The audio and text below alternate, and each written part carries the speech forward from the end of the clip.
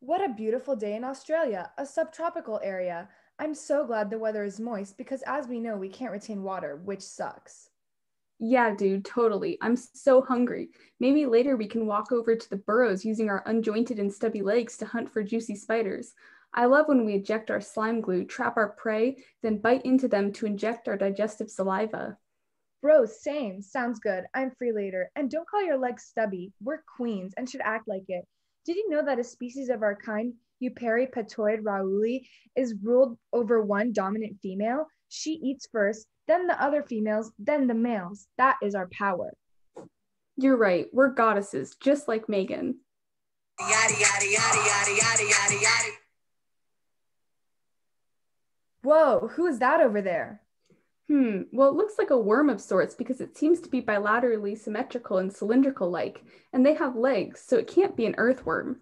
It seems like they have a circular mouth, lips, and a large pair of jaws, so they must be one of us. Dude, they look so cute. Maybe we could sexually reproduce with them and make so many cute velvet worm babies.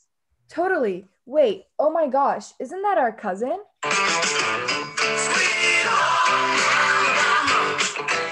What's up, broskies? Kyle, how have you been? You look tan and the papillae on your skin looks glowing. Thanks, cuz. I've been eating a new diet of only wood lice that I found in the house of a human who has actually been pretty happy recently since I kind of act like a Terminator for his small pests. Dope, dude. I did that after I laid Jimmy's larva and he kept me up all night after he hatched. Gave me a really nice glow. Kyle, we were thinking of going to our grandma's house. Wanna come? Yeah, for sure. I know that our kind is rapidly disappearing, and I would hate to have my precious slime be used by a human for surgical glue like Deborah was. So, best get out of the open air. I know. I heard that some of our species out of our 100 are critically endangered. Scary stuff. Crazy. Anyways, let's go. My sweet velvetums, my velvet cakes, how are you? Come in. I just made a fresh batch of wood lice. Grandma Gigi, how'd you know I was dieting on them? Oh, you know, Kyle. It's just that my central nervous system with the brain knows exactly what her little velvetums need. Grandma, we were talking earlier about how some of our cousins and relatives are about to go extinct. It's so sad. Yeah, Grandma. Is there any chance you could talk to us about our lineage? Of course. Velvet cakes. Nothing would make me happier. Come hither. Wow, that's a thick book. None unless you got buns, hun. Boy. All right, Grandma, show us our familia. Okay, honey. First things first. There are a lot of us velvet worms, and even we even moved back in ancient times. We haven't changed much in the last in the last 500 million years. It is hypothesized that we are transition groups between Annelida and Arthropoda. We haven't changed in 500 million years? Wow, so that means we are living fossils. Exactly. Me more than you, honey. Let's look at some photos. Here's Arthur Jenkinson, my mom's brother, cousin's brother. He's from the species Aeroperipatus, which means he has four or five Spanish spinous pads per leg. He recently died this year, but he lived a full life, six years.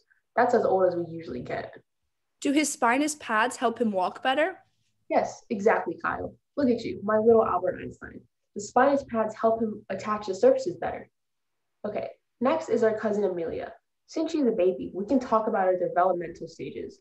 Fun fact, we are protostomes, which means our mouth develops first in the embryonic stages.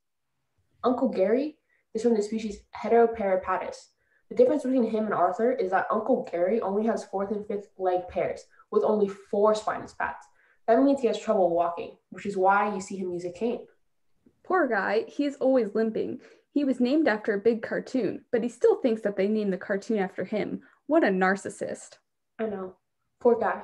Do you guys want to see more ancestors? Of course, Grandma. Okay, honey. Next up is Michael. Michael is my dad's brother, and he's an Oroperipatus, which means his male genital opening is cross-shaped. Now, I wouldn't know, but that's what I've been told. Dude, that's awesome. I wish I was Oroperipatus. Anyway, here, let me show you some phylogenetic trees so you can see the relationship between us and other animals. First, we have the 16S phylogenetic tree, which is based on the ribosomal RNA sequencing of these species. We use ribosomal RNA because rRNA is present in almost all animals. The next tree on the left is a distant relative phylogenetic tree, which was published in a study And the tree on the right is based on physical characteristics we chose as a group many years ago. Oh, I learned about this in Bio 111 at LMU.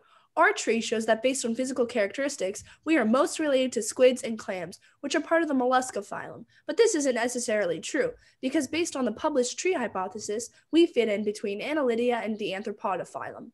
That's why the two trees look so different. There are so many different species of us that our physical characteristics vary and may cause discrepancies in the trees. Exactly. Sweet Grandma, thanks for this. We gotta get going. Dinner time. Hey, cousin Lana, let's go make some velvet worm babies. Okay.